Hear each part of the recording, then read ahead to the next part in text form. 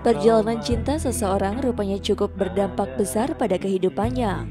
Itu terlihat saat penyanyi Terry mengalami putus cinta yang langsung membuat dirinya menjadi merasa galau.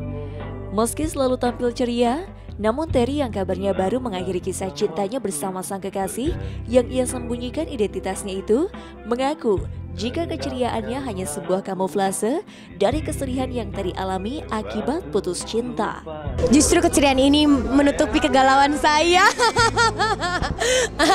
Apa ya? Um, basically, uh, kalau untuk bekerja sama sama orang, saya nggak suka membagi kegalauan saya, unless mereka orang ada orang-orang dekat saya.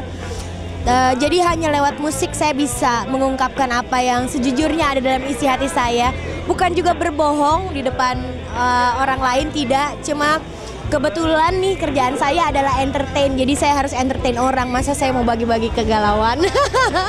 Meski didesak tentang kisah cintanya yang berakhir di tengah jalan, namun Terry sepertinya tidak ingin membuka luka hatinya yang sudah ia kubur dalam-dalam.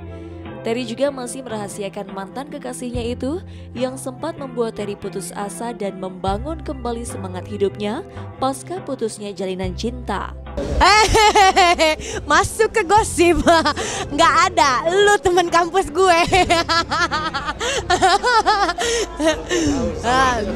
nggak nggak nggak sama artis ya? nggak? Pertanyaannya adalah acara, acara. no no no, kalian pinter banget kasih inisial ntar dicari tahu. no no no no, actually gue udah move on sama keadaan itu.